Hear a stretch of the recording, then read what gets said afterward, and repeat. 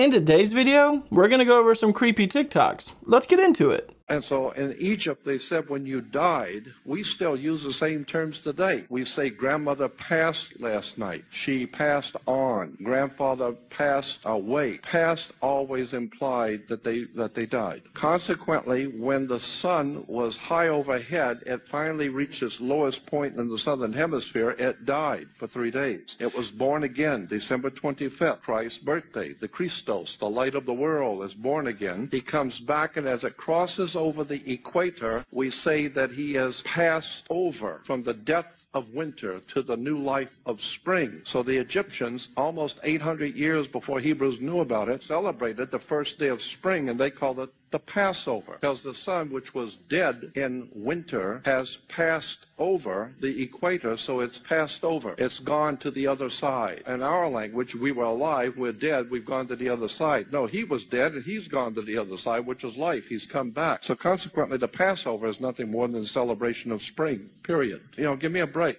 Everybody's got a religion. So you have in Hindu, Brahma, Vishnu, Siva. In Egypt, you have Osiris, Isis, Horus. In Christianity, the Father, Son, and Holy Ghost. So Judaism got to have something, so they uh, they call it uh, Abraham, Isaac, and Jacob. But the Bible is a very important book in that it gives you a very good understanding of the culture. And once you start doing your homework and find out the biblical names were metaphors for something else buried, something deeper that's being talked about. Again, Solomon is Sol Om On, the, la- the name of the sun in three languages. The truth is hidden in plain sight, and this is how they hide everything. If you are looking for the knowledge that has been hidden from us, if you want to know the meaning behind these symbols, if you want to know who controls the world, this ebook will literally unveil that to you, and ye shall know the truth, and truth shall set you free. I hear what this guy is saying, but I have just one question to the audience watching this video. I was told on multiple occasions in my past as a child that Jesus was not actually born on December 25th. He was born either in April or March. Uh, do any of you know when Jesus was actually born, or did he even exist to you? Like, leave a comment down below letting me know because I am curious on what the overall opinion of Jesus' birth date is because I've always been told that it was not December 25th. Do plants have consciousness? Yeah. Well, let me drop back even further than that. Consciousness is fundamental. You cannot get behind consciousness. And the implication here is that the physical arises from the consciousness as opposed to consciousness arising from the physical, i.e., being something that's generated in the brain. And we're into deep philosophical kinds of things, but that's pretty, pretty profound. Yes. Because everybody has thought, you know, I think, therefore I am. No, you am, therefore you think, uh, is kind of more appropriate. But it gets into, you know, just everything. Everything is uh, interrelated at a level that's almost uh, definitely impossible for humans to contemplate. It's that big. Where do you think consciousness exists? Oh, consciousness is.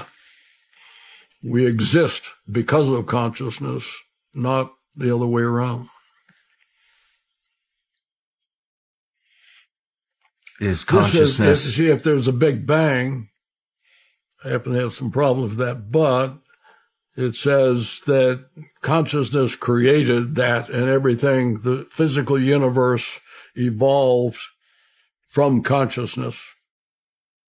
This is a pretty interesting video to me. I actually was having a minor conversation with one of the subscribers on this channel about artificial intelligence being conscious or not conscious.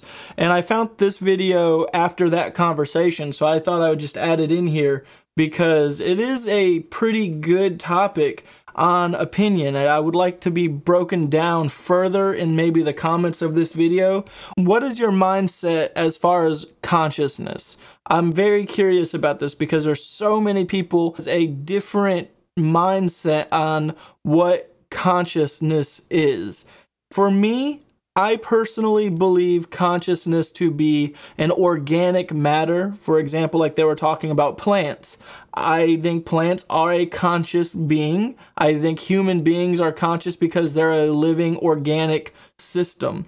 Now, when you break down into artificial intelligence and things like that, I do not necessarily believe that artificial intelligence is even literally intelligent. It's not, it's just a program. Now, when you get into what's called AGI, which is an artificial general intelligence, that is a different story than just standard AI, artificial intelligence. I think that once you reach AGI, it does become a little bit more sentient, but is it considered conscious? That is a good question. I would like to know what your thoughts are on that and your thoughts in overall conscious. What is your idea of a conscious being? So leave a comment down below letting me know because I'm very interested in hearing what everyone has to say about that. They just found what now? Piss off. Ain't no way I'm going to Australia, man. Ever. So scientists have just discovered the world's largest snake. This is absolutely insane. It's not even in Australia. Oh, it's Amazon rainforest. Or maybe I will come Australia. So it's all good. So they discovered this giant anaconda, a new species of it, living in the Amazon rainforest. They actually discovered it underwater, which is great, so you're not even safe swimming. This giant anaconda can stretch over 10 meters long. This guy is swimming with it, he's diving with it to take a video. No way, mate. Absolutely flipping not. And if you think you can bench it, well, it weighs over 500 kilos, so good luck, Shan. This thing is absolutely ridiculous. I can't believe the actual size of it. But scientists literally the other day, over in the Amazon rainforest on a little mission, but you can rest assured that the thing is only in the Amazon rainforest as far as we know. Don't think it will be coming over to the UK anytime soon. But imagine you're just walking down to the co-op or something, you see one of those guys just chilling on the side of the road. 10 meters long. Like, that is just insane. But yeah, who knows what else scientists are going to find. They've found so much recently, I swear to God. Hit that follow button, and I'll keep you updated.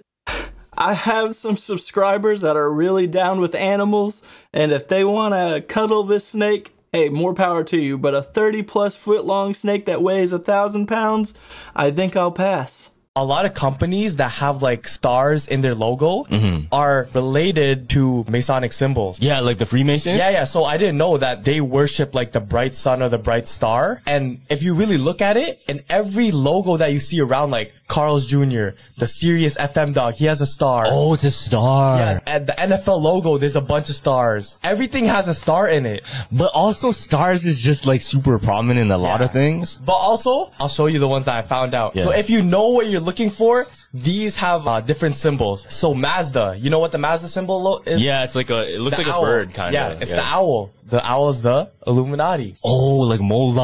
Yeah. So HBO, HBO, if you turn it down, it's an owl. You turn your head to the side, you see an owl.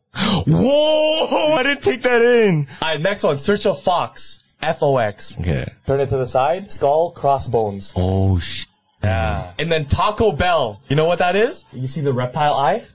Yo, that's crazy. That's crazy. Yo, it does look like that. No, it is a reptile. So it goes like this. It looks like a snake eye. Yeah, yeah. And the easiest one, Chase Bank. You know, you have to look this up. It represents a, which is a sun symbol. Wait, Chase Bank. Yeah, Chase oh, Bank. because it's, it's like, like, the the lines, the four lines connecting into a thing, and it becomes what? Like a version of a Oh shit. And that's a sun symbol. And in every Chase Bank commercial, you can see that it's on the sun. These guys are really funny to me. I, I like their reactions to things, even though I think it really irritates a lot of people. But hey, I irritate a lot of people, so it is what it is. But as far as the symbols go, I do notice a lot of symbols in signs not necessarily to say that they're bad or they're trying to symbolize something satanic, but I do notice a lot of symbols. Like one of some of my most favorite logos in companies is FedEx and Amazon. I love those logo designs because in FedEx there is literally an arrow in FedEx. And in Amazon, I like the smiley face because it's from A to Z. Like they get your packages from A to Z. And I think that's just so clever personally. Hey, if you haven't done so already, go ahead and like the video and subscribe to the channel. I only ask once per video and I make a video like this every day. Stephen Hawking wasn't as disabled as you thought. Stephen Hawking's being on the list reminds me of a conspiracy I heard that Stephen Hawking wasn't even actually a real person, but a character. So before he had a robot talking for him, he had a translator. Stephen, when did you first realize you wanted to be a physicist? Ah, I think I knew from about the age of nine or ten that I wanted to be a scientist or model railways. How does he really know what he's saying? Was aimed in some way at finding out how the world worked around me. People are questioning how someone translates those grunts into actual sentences. It just doesn't add up to them. I knew from about the age of nine or ten that I wanted to be a scientist. Like, how is that being translated? It's like Han Solo translating for Chewbacca. Now, kind of how the media uses children as shields, people believe that Stephen Hawking was used as a shield. I've heard about this before. I personally do believe Stephen Hawking was a real individual. I do believe that he was a real scientist. Once he received his spell to speech, he was pretty much in full control of however he wanted to handle his situation. So I cannot believe that he was a actor living a false life under someone else's control. I, I really truly think that he was who he said he was and what he said he was. Now, as far as that guy being able to understand his grunts and his, his moans and mumbles, I have a feeling that stuff was rehearsed ahead of time. There was a understanding of what was going to be said during the interviews and things like that, and they were just kind of prepared for answers and things like that. But I could be completely wrong. Let me know in the comments and your thoughts about Stephen Hawking if you think that maybe he was fraud or he was being controlled by a higher power or a governing power. But I really don't think he was. But let me know. Reality is the way that it is because that's the way humankind decided to make it. I'm about to wake you up. Pay attention. What's one times one? Times one is one. To multiply means to do what? To make more, right? Yes. Increase in number? Yes. Multiply? Yes. How can one times one equaling one be part of the multiplication table? It fails to satisfy the term multiply. It doesn't multiply. Does it? What's an action times an action? You got some weed. Uh, no, no, I'm asking you. What- Honestly, are I'm we doing? asking What are reason. we doing here? reason, reason, reason, reason. I want you to reason.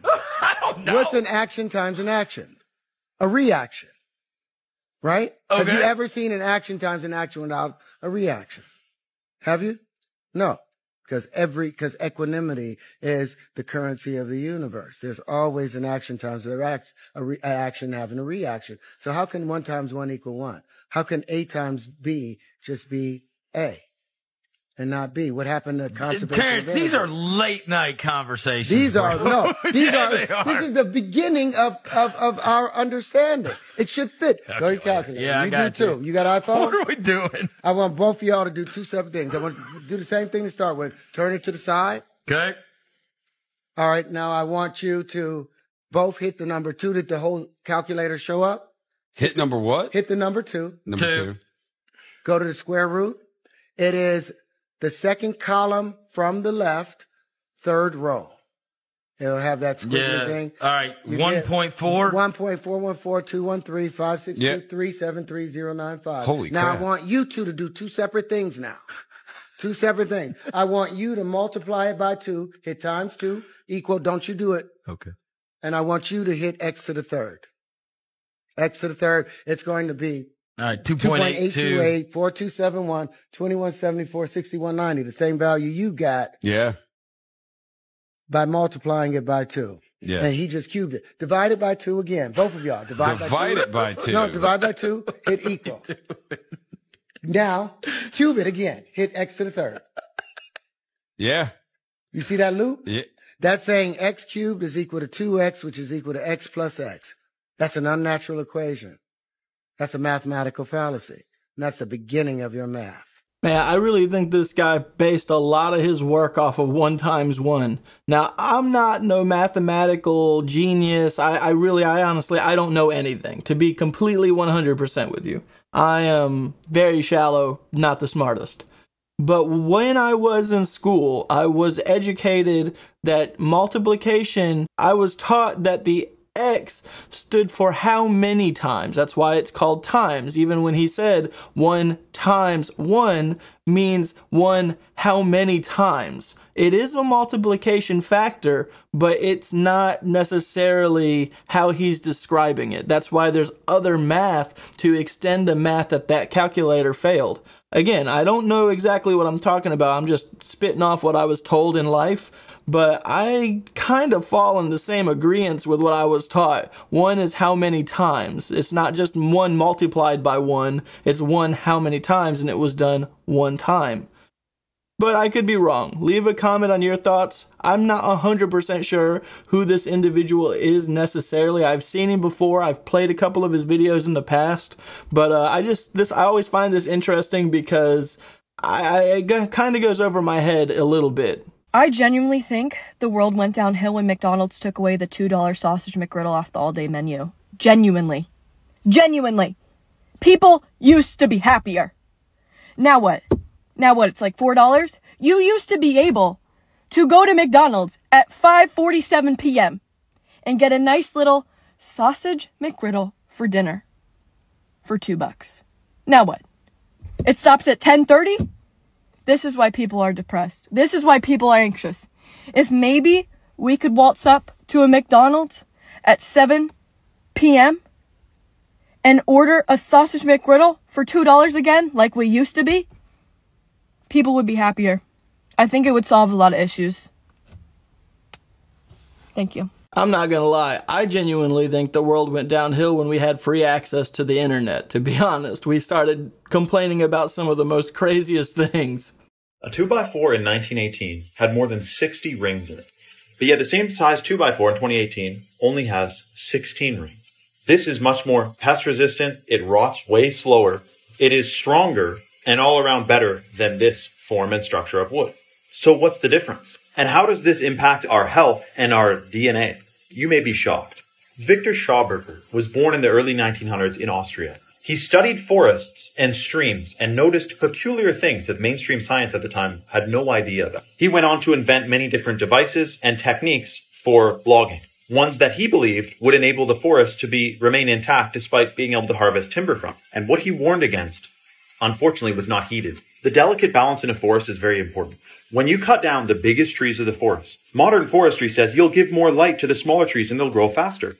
They will grow faster, but at the cost of being much less structurally sound. You need the mother tree casting shade across all the other trees to help them grow slow and steady. But when you cut down the biggest trees, the sun warms up the soil, which actually negatively impacts the soil microbiome, the bacteria in the soil. A forest is meant to be shady and cool, and this causes a disruption to the health of the water in the ground and the beneficial bacteria, aka nutrients that ends up in the food grown.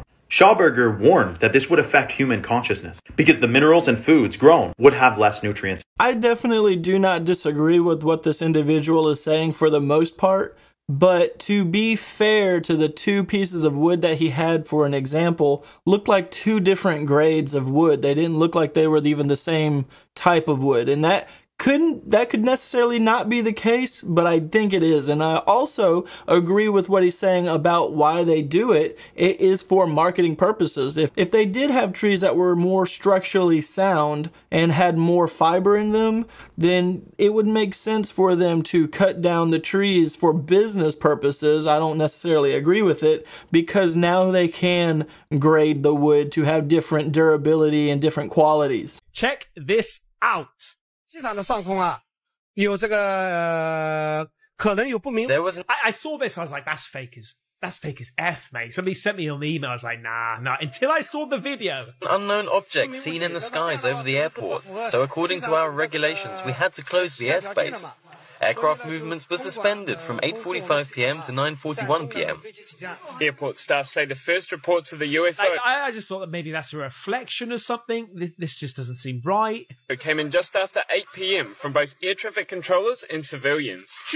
And that just to me is like uh, that, that. That's a, a, a screenshot from a bloody movie or something. 好像说是有旅客看到。 I heard that some of the passengers whose flights just landed saw the object, which appeared as glowing lights. It was not a normal civil aviation flight. What it actually was, no one knows. Look at it. Look at the state of this, mate. And I'm telling you, I know what you're thinking. Ben, move on. This is effing fake. Wait till you see the video. I know I've said that a couple of times, but just right. During the hour in which airspace was closed, six flights were grounded and 12 inbound flights had to be diverted to nearby airports at Ningbo, Wuxi, and Shanghai. In total, almost a thousand passengers were inconvenienced by the closure. Hey, right here we go.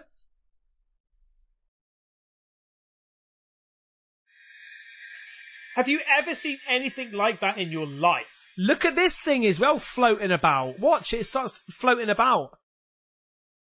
Look at it! Someone's being abducted right there.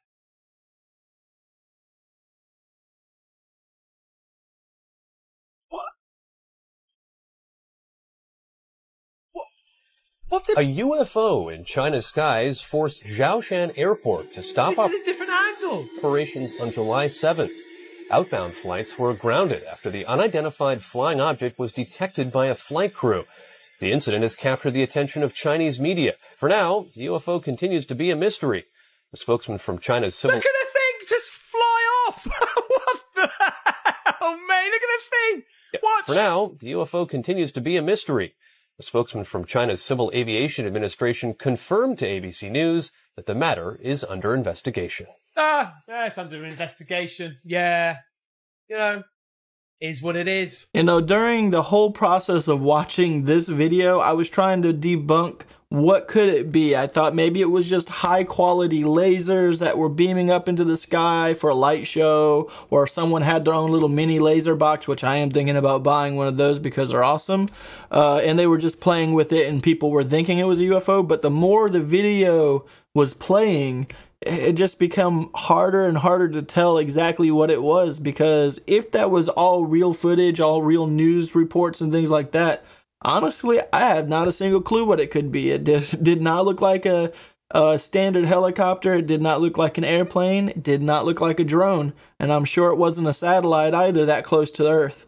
So I am clueless. If you have any input on what this could have been, please let me know.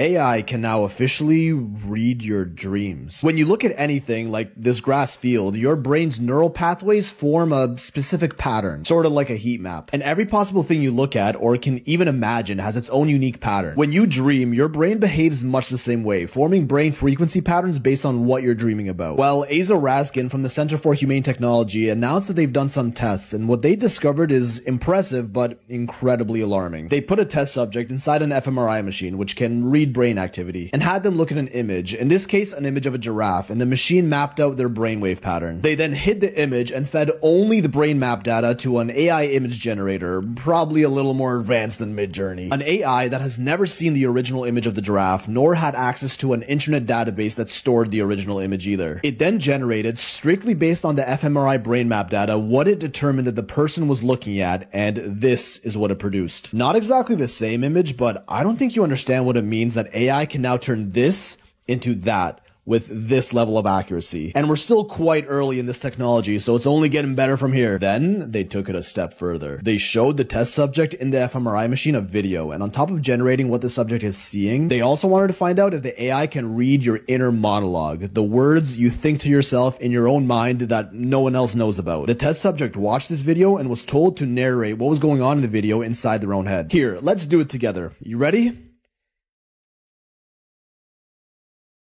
Did you get all that? Now again, given only the subject's brain activity heat map, this is what the AI determined the person was thinking. I see a girl that looks just like me get hit on the back and then she is knocked off. Probably a bit different than what you thought, but this is literally AI reading our minds, and all it takes is someone's fMRI brain scan data. Our thoughts and dreams can now be leaked to the world. Give it a few more years, and this technology will get near perfect. And sure, fMRI machines may look like this today, big, clunky, and all around you, but that technology is also going to improve. What if we have fMRI Apple Vision Pro goggles 10, 20 years from now? You'd be able to see and read what someone is thinking or even dreaming by just looking at them. A few years ago, I was talking to my coworker about this kind of stuff happening. Eventually, they are going to analyze all of our brain waves are going to make us think of different things and then they're going to save that brain pattern and put it to a machine and tell the machine hey this specific brain pattern means a red car or in this case a giraffe and i told my coworker a few years ago before this was even announced that this is something that's going to happen because it's easily able to be done. Now, this guy did give a little bit of false information. This stuff was, I, I did a little bit of research on it, and this stuff is actually connected to OpenAI, which is a AI source code that is hooked up to the internet, and he said that this was not done so that way, but it definitely was done that way. But nonetheless, very interesting future, kind of scary, kind of exciting. Where do you guys fall in on this kind of stuff?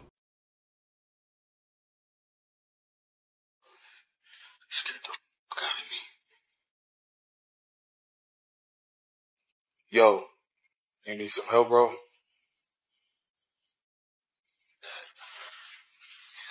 responding. I don't leave him alone. Get the out of his way.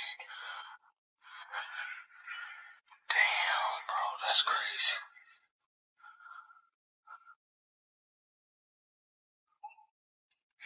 What the hell? That is crazy as hell. Why? Damn. No, actually, that's dope. He's sleeping down here in the dark like that.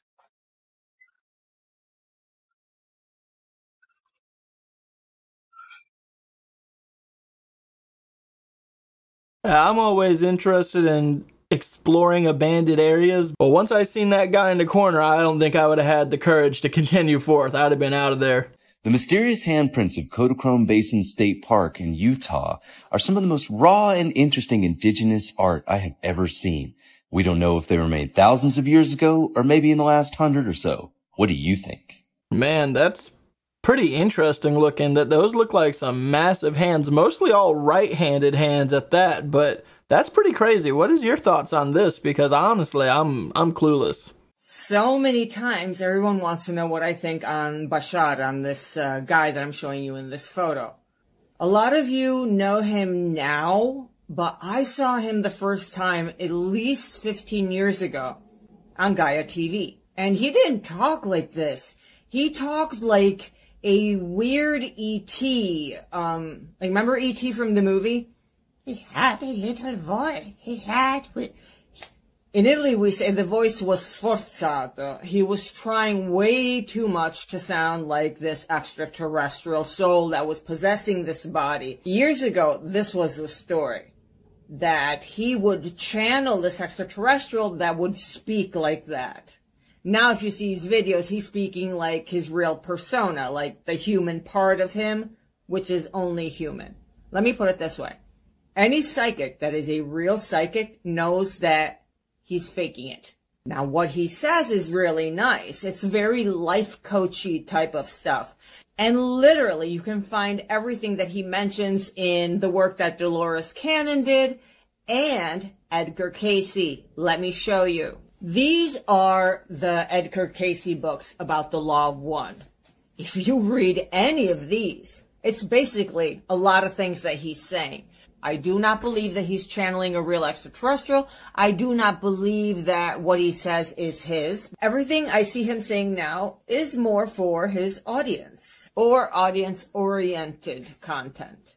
Is he a real extraterrestrial or hybrid? No. Does he channel a real extraterrestrial? No. Take it for what it is. Good teachings, good talking, but it's everyone else's work. I do not dislike Bashar. I think that everything that he talks about is very positive. I think that it's really well spoken and it is very encouraging and I think that it's insightful. But I really do not believe that he is actually connecting to another being. I, I just really do not believe that. I think that he's just extremely insightful and extremely wise, and this is a role that he plays to help spread the message of people that are asking questions. But I could be completely wrong. Leave a comment, let me know your thoughts. I do know that there is a lot of people in here that do like Bashar, that do believe in him, and I think that's totally fine. And I know there's a lot of people that don't. There's no such thing as a creator God. It's illogical. Why? It's a very simple answer to a very complicated question. If at home, there are some kids at home, and the dad, being a good carpenter, make a stool for every one of them, and they say, Dad, who created this tool? The mom said, Dad created it. Is it really dad who created that little wooden seat for all the children? Where did dad get the wood from? Where did dad get his skill from? Where did dad get the nails and the hammer from? Dad created that wooden seat for all the kids because dad has all those conditions that culminate into successfully completing that stool for the kids. But for the sake of simplicity, mom just said dad created it and the kids believe it. But when you analyze it in maturely in detail, can dad created that seat without nails, without wood, without all these conditions? So how is the cosmos created? How is the world created? They created based on all the conditions fulfilled for its creation.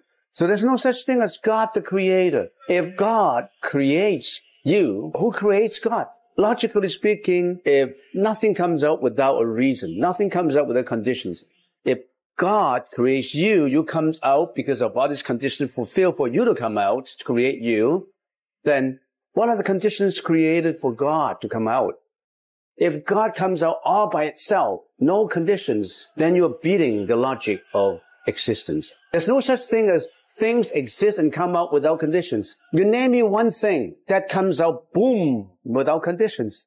You name me one thing. If Dad creates that stool for John, for Johnny, he would have tried his best to create it a good stool. He wouldn't create it a stool that is dangerous, that is imperfect, that is not proper to sit on. How come we are created with impediments? Stuttering. I'm a stutterer. I cannot speak. How come I have a brain that is not as normal as others? Helen Keller was born with no senses, no eyes to see, no ears to, to listen, and no tongue to talk. I created this world to test you, to see that you're good. If you're no good, down your hell. If you're good, up your heaven. Why, why do this? So it's not logical. Just purely on logic. Well, I, am not criticizing other religions. Don't get me wrong. I haven't mentioned one word of religion. I haven't. I'm just talking about a logical thinking of God creation. I respect all the religions, right? But I have doubts and queries about it. Then I don't want to blindly go into believing it. All right, that's number one. I respect all religions. I don't necessarily doubt what he's saying. I think that he is genuinely speaking what he believes. I personally also kind of fall in the line that if there's a God, it wouldn't surprise me if something created God. I, I, really like that idea. God is our creator and he is the Alpha and the Omega, but that doesn't mean that nothing created God. You know, something might have, and it's just undisclosed to us because it's not important to us, and only thing that is important to us is God, our creator. But just because he is God, the Alpha, the Omega, that shouldn't necessarily mean that there is not another being or entity beyond God. There's probably many other entities beyond God. I, I, mean, I personally cannot say, even if I've read the Bible and Bible basically does not speak of any other being from God other than what he has created, that doesn't mean that there's something missing out of the Bible that's been taken from us because the Bible's been altered so many times from different languages. Who knows what's not been put in that book? I am curious on your belief of this because I know there's a lot of people that watch watch this channel that are extremely religious and they are way more insightful than I am personally on religion. So I'd be curious to hear what your theories and your thoughts of God and if there is another entity beyond God or, or one that may have created God itself. Hey guys, Ruben here once more, and uh, today I want to talk about the sun and the moon. According to the solar system, the moon has the shadow because of the earth in between the sun and the moon, correct? So here we go. Watch this. Okay, there is the moon. Okay, that's the moon, and that is the sun right there in the same sky. All right, that's the sun. That's the moon. It's approximately 3.35 right now in the afternoon.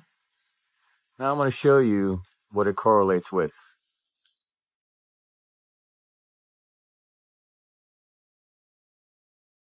I honestly, I want to believe that the earth is flat.